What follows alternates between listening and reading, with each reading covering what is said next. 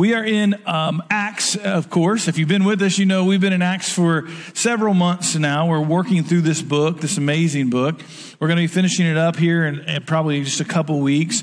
Uh, we celebrate Christmas then, and then we will celebrate the New Year, and then in January we will be going through the book of Romans together.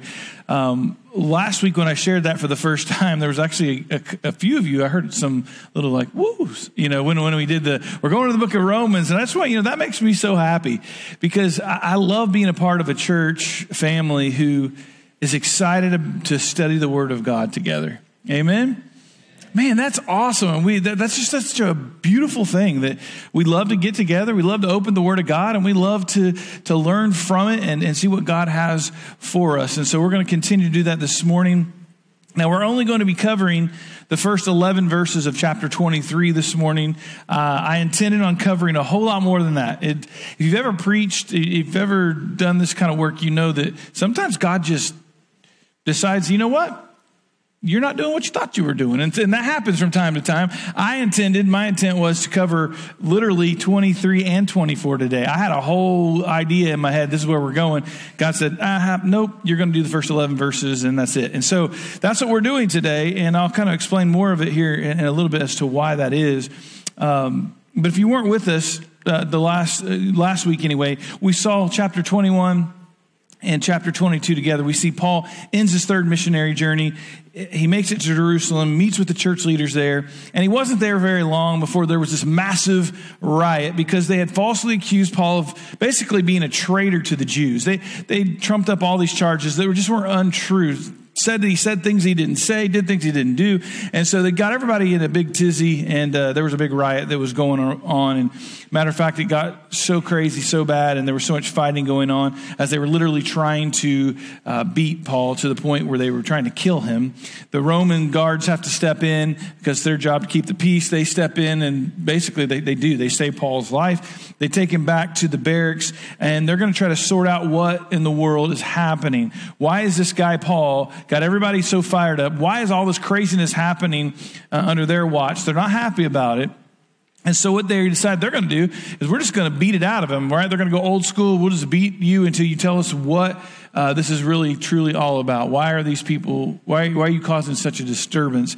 But as they literally stretch Paul out um, to beat him, um, they realize Paul kind of speaks up and says, I just want you to know something. By the way, I'm going to ask you a question here. This is my version.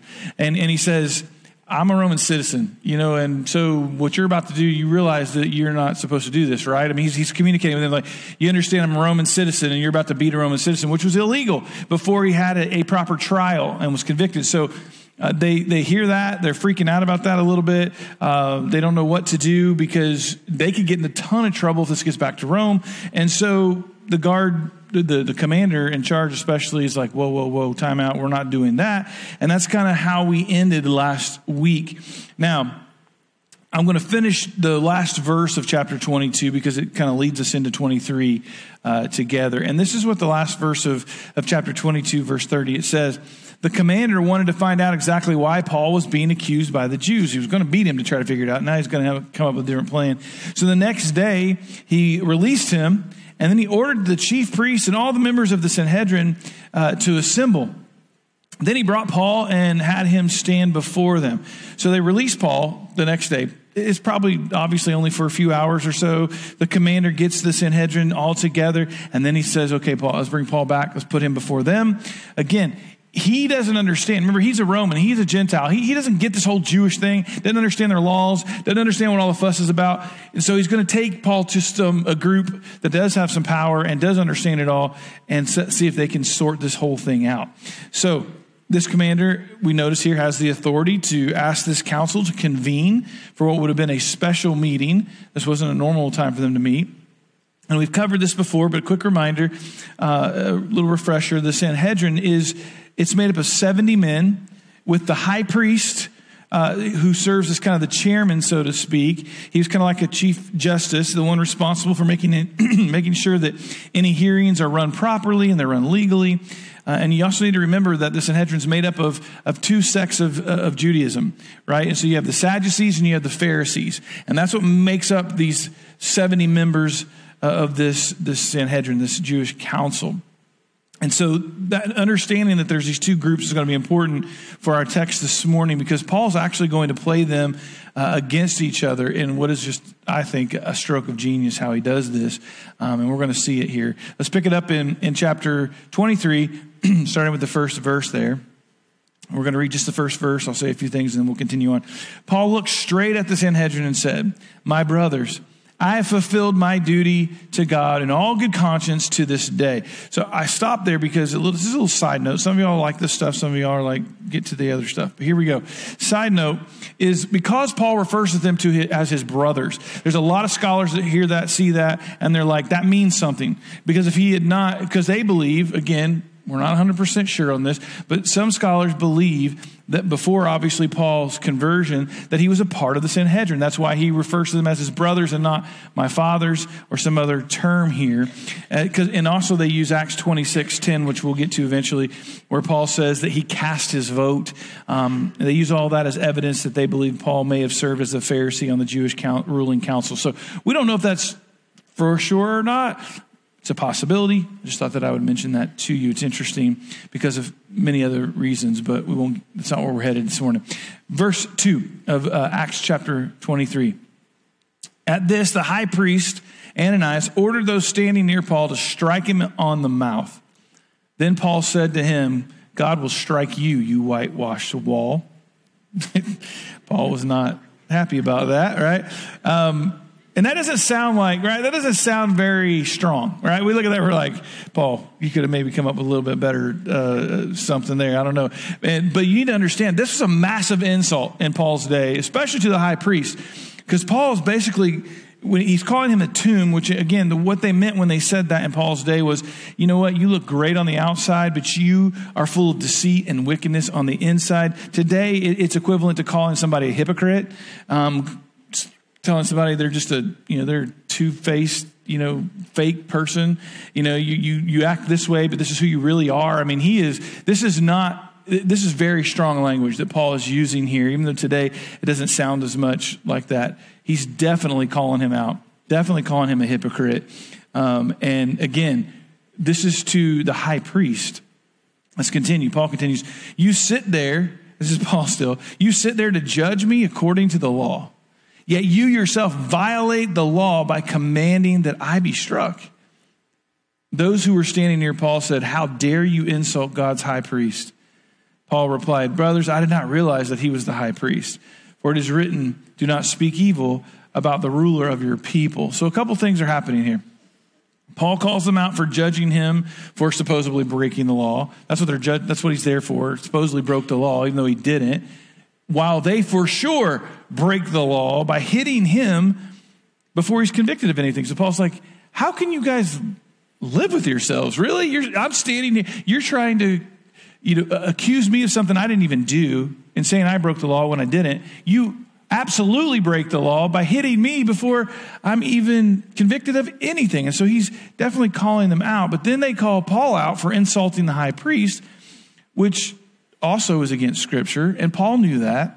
And that's why he ends up apologizing, saying he didn't realize he was talking to the high priest. Now, the, it kind of begs the question, right? Like, how did Paul not realize that he was talking to the high priest? I mean, I think that's where my mind goes. Maybe that's where your mind goes. And we know Paul was a very educated man. We know he knows the Jewish law and the traditions. And so it shouldn't have been too difficult to pick out who the high priest was. I mean, that, that's kind of what runs through our brains. And so did a little bit of digging here, a little bit help some of us who think about this stuff. Um, scholars give a few reasons. And maybe you would say, I like that one or that one or whatever it is. But um, the first one is that they believe that it's possible that Paul didn't recognize him due to poor eyesight from his injuries. We, if you've been with us, you know Paul has been had the full beat out of him multiple times. He's been left for dead multiple times. Um, he, he, we know even from other scripture, we know from Galatians that he tells us his eyesight is awful. And so some scholars are like, maybe he couldn't see, maybe he as well, maybe he didn't really, wasn't able to see him. We, we don't know. It's one, one possibility. Uh, the second one is that the high priest was, was not acting like a high priest should act, right? I mean, he was clearly violating the law. So Paul, Paul could have been being a little sarcastic here right? I mean, if you just got hit in the mouth and you're standing with this, Paul's been through a lot. You have to understand this moment in his life is a really, really low moment. He's struggling. And now he, he's come off of this other journey. He's done three journeys. He's just, he's again been beaten and beaten and beaten. And now he's being beaten uh, in front of these people without even being convicted. He's, I'm assuming, again, this is us. In our, we put ourselves in his place. He's ticked off. He just got punched in the mouth for no reason. And very well could be that he was being sarcastic, like, oh, you're the high priest? Didn't realize it since this is the way that you're acting. So we don't know. I mean, was that what Paul did? We're not so sure. The third one is sort of like that one. It's that maybe Paul was frustrated uh, by being hit in the face and just reacted before he thought it through. So it could be that Paul just made a bad choice here. He let his anger and frustration get the best of him. I know none of us can relate to that, right? Um, but no matter the reason, Paul does apologize for his words. He recognizes what he said wasn't good, it wasn't okay, it was against Scripture. And so he apologizes for it. And now comes that moment I alluded to earlier of Paul being brilliant, just a genius for what he does here next. Verse 6. Then Paul, knowing that some of them were Sadducees and others Pharisees, called out in the Sanhedrin, My brothers, I am a Pharisee, descended from Pharisees. I stand on trial because of the hope of the resurrection of the dead. When he said this, a dispute broke out between the Pharisees and Sadducees, and the assembly was divided. The Sadducees say that there is no resurrection and that there are neither angels nor spirits, but the Pharisees believe all these things. So, again, in a stroke of genius, Paul pits these two sects against each other by bringing up something that they don't agree on. Um, Paul knows, he's very well aware that the Sadducees don't believe in the resurrection of the dead. They don't believe in demons. They don't believe in angels. He also knows the Pharisees believe in all those things because he a Pharisee himself. And so he says, listen, kind of plays to the Pharisee side a little bit. Listen, I'm a Pharisee. My daddy was a Pharisee. I come from a long line of Pharisees. And I'm here today because I have placed my hope in the resurrection of the dead. Now, Paul's obviously alluding to the resurrection of Jesus, but this is going to start a huge fight between these two parties. Sadducees are yelling, There's no resurrection of the dead. Pharisees are yelling, Yes, there is. And Paul, that, that kind of sounds like Buddy the Elf. Yes, there is. Right, but that's kind of what's happening. And Paul is sitting back in my mind, and, and this is what he wanted. He's like, Let's get the attention off of me. Let me bring this up. Let me remind you of this. And these two parties are going crazy. Let's continue. Verses 9 and 10. There was a great uproar, and some of the teachers of the law who were there, who were Pharisees, stood up and argued vigorously. We find nothing wrong with this man, they said. What if a spirit or an angel has spoken to them? Now they're, woo, now they're bringing that up in front of the Sadducees. The, the dispute became so violent that the commander was afraid Paul would be torn to pieces by them. He ordered the troops to go down and take him away from them by force and bring him into the barracks. So it works. Paul was standing on trial. He gets them sidetracked and arguing about all the things they disagree on. Instead of them being unified on what they do agree on, it kind of sounds like Congress, right? And they just start tearing each other apart. I mean, they are literally going at it. The, the Pharisees, if you notice here, they actually take Paul's side. They even bring spirits and angels into the conversation, which of course riles the Sadducees even more. Everyone just loses their minds, and this literally this turns into more honestly of a WWE match than anything else. I mean, there it is. You understand? They're fighting. They're not just fighting with their words. I mean, this has gotten out of control to the point that the commander's like, "We got to get him out of there because he's going to lose his." Life. And you can almost see the Roman commander, at least I see it this way the Roman commander standing maybe in the back watching this, just shaking his head, like, Are you kidding me? Is this what's going? Like I, this dude, I'm just trying to figure out what this guy has done that's so bad, that's so wrong that everybody hates him, and everywhere he goes, they, the riots happen, and people want to kill him. And I bring him before this council, thinking this is going to solve the problem, and they start acting like a bunch of children and fighting, and and it's so bad that I've got to go go get him, go get because he's going he's going to get killed here. And once again, we got to save Paul's life because if we don't get in there, something bad's going to happen to him. So they go in They take him out, and they're like, the commander's thinking, I got to find a different plan. This plan isn't working. So they take Paul away. They get him back to the barracks safely. And the next night, something incredible happens. And this is in verse 11. Uh, again, uh, get there with Paul. This is a terrible, terrible time for him. He's been through so much. Um, and his future does not look very bright as far as his future here on earth. Uh, he's left all these people that he loved. You've been with us. You saw him say goodbye to so many of the people he loves more than anybody else and on earth. And, and now here he is. Uh, we, we, we know he's, he's probably pretty down. In verse 11, the following night, the Lord stood near Paul and said, Take courage. As you have testified about me in Jerusalem, so you must also testify in Rome. So this is where I was telling you, I felt like God just kind of moved me in a different direction. And, and so I want to take some time on this verse and this situation. Because, first of all, what happens here, we need to understand is special. If you've read through Scripture, you understand that there's a lot of times in Scripture we see where God will send an angel we also see where God will send another person, a prophet, or just someone else, another person to encourage one of his servants in times of trouble. God does that. He shows up and cre- there's other people he, he, he, allows to show up in their lives all through Scripture and even in our own lives at times, still to this day, to encourage us in the most difficult moments of our life. But this is a super rare moment when Jesus himself shows up and encourages Paul. And so, again, this kind of begs another question of why? Why, why did Jesus do it this way, this time? Well, again, a lot of scholars believe it was because this is possibly one of the lowest moments in Paul's life. This is, this is maybe more, Paul's probably more down in this moment than he's maybe ever been in his life, which makes this encounter even more purposeful. And Paul again, if you've been with us, you've seen what he's gone through. And if you haven't, go back and and and go through this series with us and pick it up maybe where we started picking up with Paul, and you see what this man has gone through, what he has sacrificed.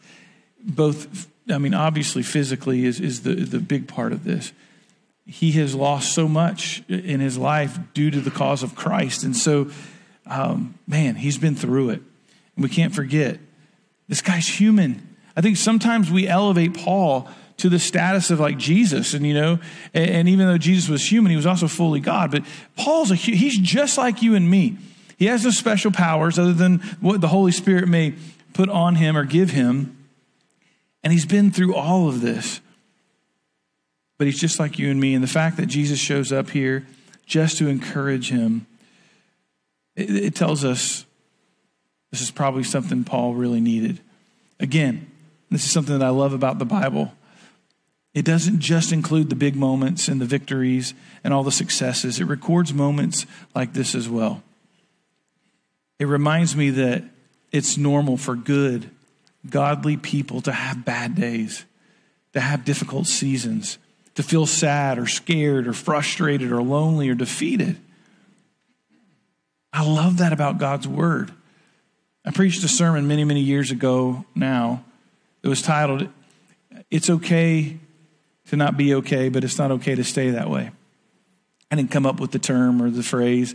I'd heard it, uh, that quote at a conference I'd attended, and man, it just stuck with me because of all of the moments or seasons uh, in life when we simply aren't okay. And it was like it was a release for me. It was like, wow, I really need to think this through because the truth is we all struggle, but for some reason, and especially as Christians, Many of us feel like we can't be not okay. I grew up in a church. I grew up my whole life in the church. And the world I grew up in, and maybe you can resonate with this as well, especially in the church, we have to have it all together. You have to look like you have it all together, or you're going to look like you don't have Jesus in you. You're going to look like you don't trust Jesus. If you're ever not okay, that's not okay. And so you have to put on the face and you have to fake it and you have to make sure that, especially when you're at church, but don't let anybody know. You know, you just you need to make sure make them feel like you know you've got it all together and everything's great because you follow Jesus. And that was kind of the narrative that I grew up in thinking and kind of not realizing that's what was being put in my heart and my mind, but it was. And it was like, what do we do? Well, you try and to appear as perfect as you possibly can. And it's still happening today. I mean, look at social media. That's what most of it is. Most of the time, it's just a facade. And what happens is that then leads to no one feeling the freedom to admit that they're not okay. And so when we only see perfection everywhere we go, and you go to the church, especially, and you're around church people, and they're always got it all together, if you are hurting, if you think that's the way they are, you feel like you're just this outsider, like there's something wrong with me because I don't feel okay. But I can't admit that I don't feel okay or that I'm not doing okay right now because everybody else has got it together. I'm going to let you on a secret. They don't have it all together. That person next to you doesn't have it all together. I don't care how much money they have. I don't care what kind of car they drive. I don't know how many, care how many kids they have. I don't care how successful they have been. I don't care how good looking they are. Whatever you want to call it. How, I promise you, they don't have it all together.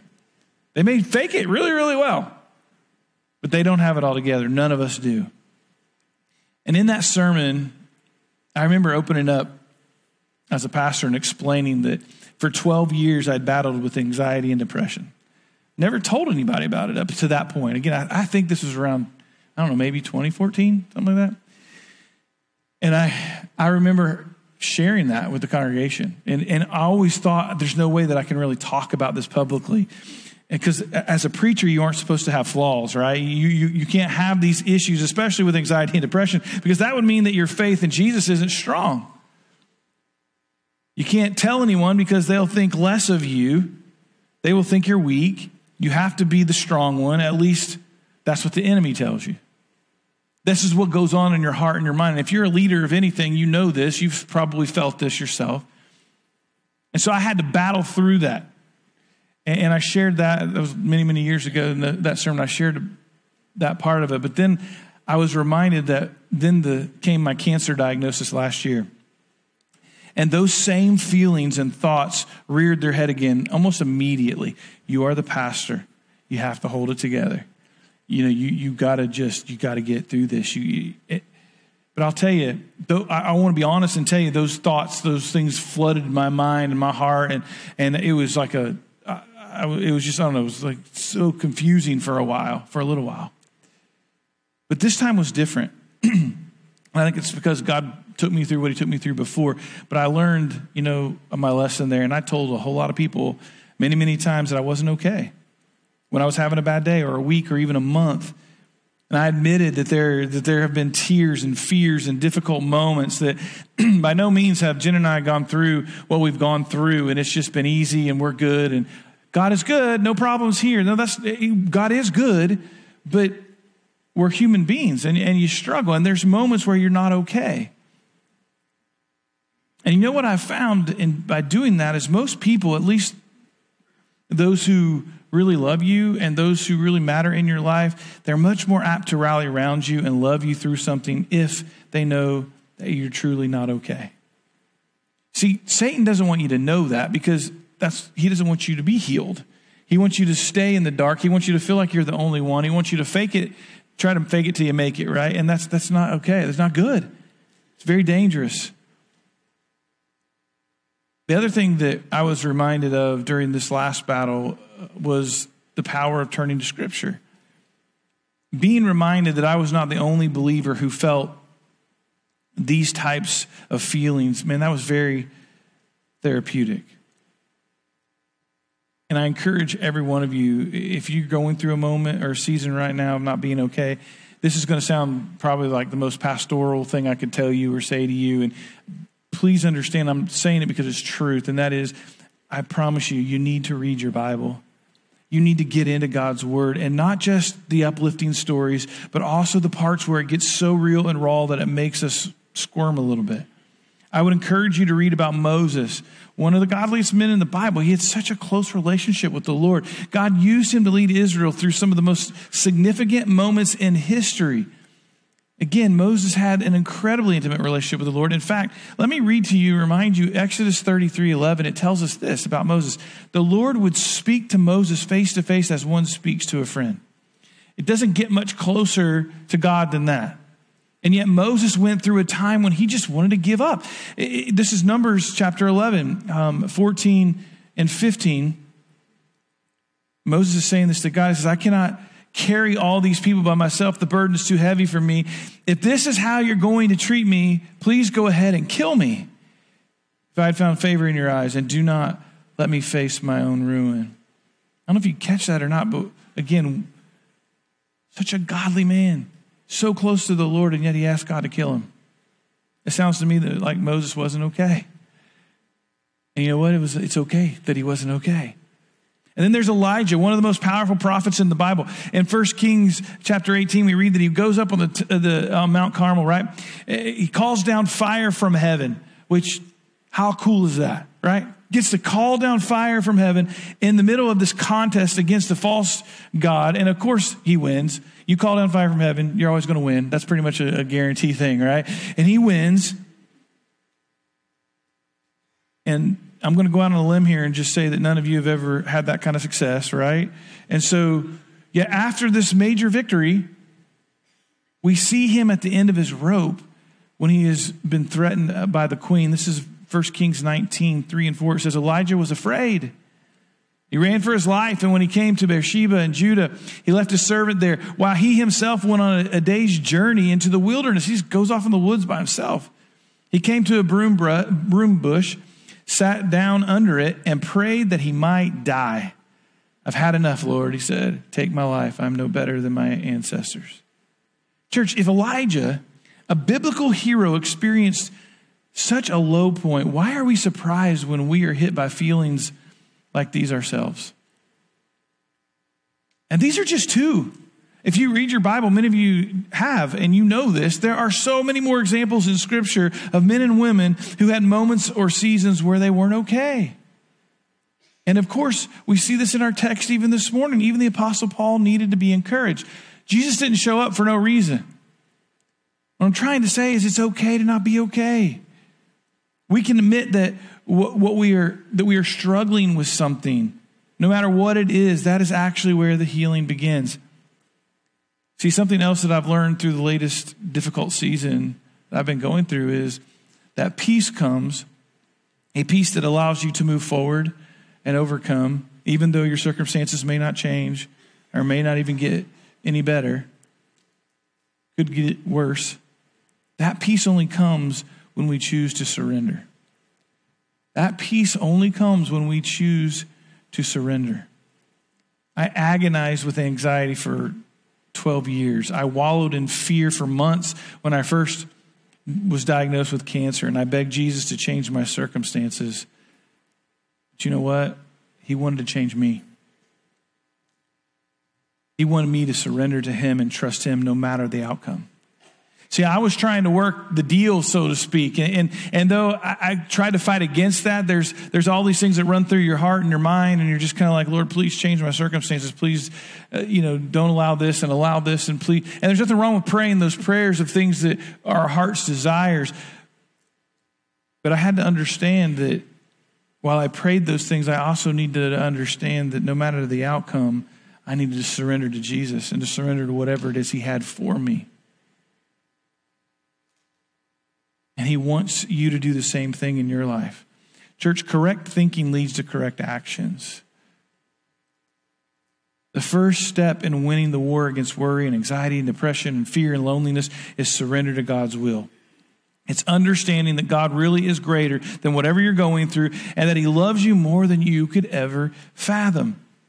And whether He heals us on this side of heaven or in heaven, He is still good and He will never leave us or forsake us. And so if you if you're ever going to experience victory over overwhelming circumstances, you have to grasp the foundational truths that God is good, that He is perfect, that He has a plan, and that no matter what that plan is, it's what's best for you. We are to take courage and surrender to that plan. That is essentially what Jesus was telling Paul to do here in Acts 23 11. Again, he says, the follow, that following night, the Lord stood near Paul and said, Take courage. Take courage. Other translations say, Be of good cheer. Take courage. As you have testified about me in Jerusalem, so you must also testify in Rome. Jesus saying, I'm not done with you, Paul. There's still work for you to do. Take courage. Keep fighting the fight. He shows up in his prison cell, no doubt at a moment when Paul needed to hear it most, and just says, Take courage. I see you, Paul. I see what you're going through. I've seen what you've done. I know what you're going to do. Trust me, I'm in charge. I've got this. You're going to be okay. Take courage. Paul doesn't even know how he's going to get to Rome. I mean, he's in prison right now, and I'm sure this visit from Jesus, though, filled him back up and gave him a peace that made no sense considering his circumstances. But that's what complete surrender to the Lord does. I don't know what you're going through today. I would guess in a crowd this size, there are many who aren't okay today. And I want to tell you this morning it's okay to not be okay. It doesn't make you less of a person and less of a Christian because you're struggling with something right now. Maybe even your relationship with the Lord. You don't understand some things. Maybe you're angry even at the Lord. I can't admit that. I can't. Why wouldn't you admit that? that healing is going to come when we begin to open up and talk about what we're going through. And I would encourage you to not hide it and to seek out someone you trust to talk about it. Listen, there's good, godly counselors that you need to go to. You have not, you've not been defeated as a Christian if you have to go to someone else for help. That's that's that's a great idea, right? That that's someone who is educated enough, smart enough to understand Listen, I need help. That's intelligence. And I would also encourage you to get into God's word and to surrender to the Lord. It's just super, super important that we understand this and we see this because as Christians, we are sometimes the reason that people put up walls because we don't allow them the opportunity to really share that they're not okay. Because nine times out of 10, when we go to someone and we say to them, Hey, how you doing? What we really mean is we just want them to say, I'm good and move on. We don't really mean, how you really doing, right? And so that we pick up on that. It's something that we just learn as, as people, especially within the church. And we've got to get to the point where we can find someone that we can say, Hey, I need to talk to you because I'm not okay. And I need some help. Satan's going to make you believe you're the only one dealing with what you're dealing with. You're wrong for feeling the way you feel. And he's going to try to ostracize you and isolate you. And that's a very dangerous place to be. I want you to remember these people in Scripture we've talked about today. And again, there's so many more. Matter of fact, I was reading this morning, um, I was looking through Instagram uh, early this morning and actually came across. Uh, Kaylee's posted this, and um, Kaylee Webb. I don't want you to think it's Kaylee, my daughter-in-law, but uh, and she posted this from Jon Acuff, and I thought, oh my goodness, that's that's so good. That's what we're talking about here. So I'm going to read it to you. This is again, this is Jon Acuff's quote. It says, "God found Gideon in a hole, found Joseph in a prison, found Daniel in a lion's den."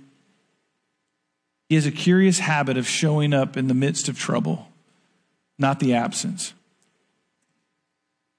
Where the world sees failure, God sees future. Next time you feel unqualified to be used by God, remember this He tends to recruit from the pit, not the pedestal. I thought, man, that's so good. We need to hear that today. You're not less than because maybe you're not doing so great right now. All through Scripture, people found themselves in very difficult situations.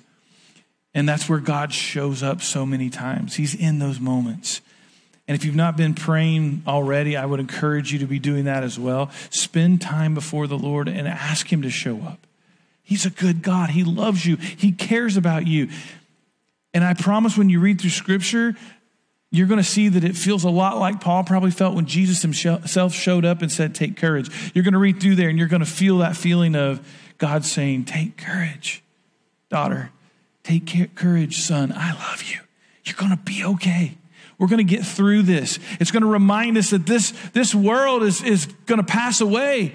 That's why all through scripture, there's so many verses that talk about this world, this moment, why we're here is like a vapor. We're here today, gone tomorrow. It's eternity that we should be living for. And we've got to have our eyes set on that. We've got to be reminded of that. And someone today needs to hear that. Let this be your guide. And understand and be okay if, with feeling like you're not okay. But I also remind you don't stay that way.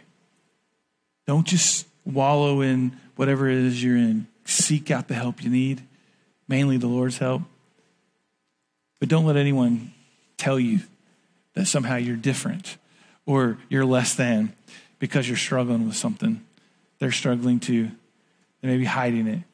They're struggling or have struggled before. It's okay to not be okay, but it's not okay to stay that way.